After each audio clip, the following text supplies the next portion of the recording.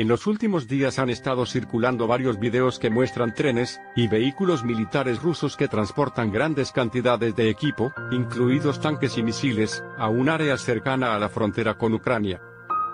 La parte ucraniana alegó que un gran grupo de combate de 90.000 soldados rusos se desplegó cerca de la frontera de las dos repúblicas populares autoproclamadas de Donetsk y Lugansk. El periódico con sede en Estados Unidos Washington Post, citando fuentes familiarizadas con el asunto, dijo que los funcionarios estadounidenses y europeos parecen estar expresando preocupación por el despliegue de equipos militares y tropas de Moscú en el flanco occidental de Rusia. De acuerdo con el diario estadounidense, recientemente aparecieron videos en las redes sociales, en los que trenes y convoyes militares rusos transportan una gran cantidad de equipo militar, incluidos tanques y misiles, fuego, en el sur y oeste de Rusia. No es un simulacro. Tampoco parece estar entrenando. Algo está pasando. ¿Qué es? Michael Kaufman, director del programa de estudios de Rusia en el Center for GNA, GNA Corporation, una organización especializada en brindar servicios de análisis estratégico a agencias adscritas al ejército estadounidense y al gobierno estadounidense, con sede en Virginia, puso un signo de interrogación. Las tensiones entre Rusia y Ucrania han estallado desde 2014, cuando comenzó el conflicto en el este de Ucrania entre las tropas del gobierno de Kiev y los separatistas. En abril de 2021, cuando hubo indicios de que Ucrania quería lanzar una operación militar a gran escala contra los separatistas, Rusia desplegó alrededor de 85.000 soldados cerca de la frontera entre los dos países. Según la evaluación occidental, a la defensiva y presionar al ejército ucraniano para que actúe con cautela. Cuando la situación se enfrió, Rusia anunció la retirada de tropas de la zona.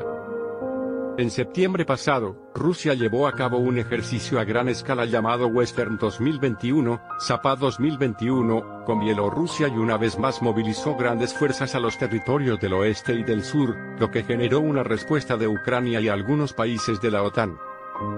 Según el experto Kaufman, las imágenes de satélite muestran que las fuerzas del 41 grados Cuerpo Armado Combinado de Rusia, generalmente estacionado en la ciudad siberiana de Novosibirsk, no regresó a su antigua base después del ejercicio, sino que se unió a otras fuerzas rusas cerca de la frontera con Ucrania.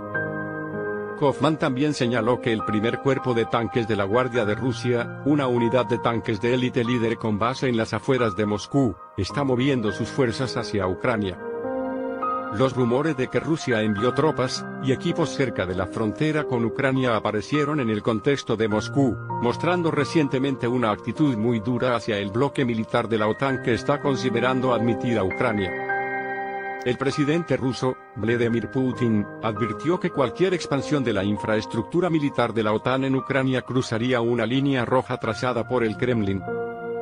En 1990, al final de la Guerra Fría, el entonces secretario de Estado estadounidense, James Baker, se comprometió con el líder soviético Mikhail Gorbachev a que la OTAN no se expandiría ni una pulgada más al este de la frontera alemana. Sin embargo, durante las últimas tres décadas, la OTAN ha revertido su promesa, y ha admitido al menos tres estados bálticos y cuatro de la ex Yugoslavia. Los expertos advierten que cualquier movimiento militar excesivo de la OTAN en territorio ucraniano podría desencadenar una respuesta drástica de Rusia,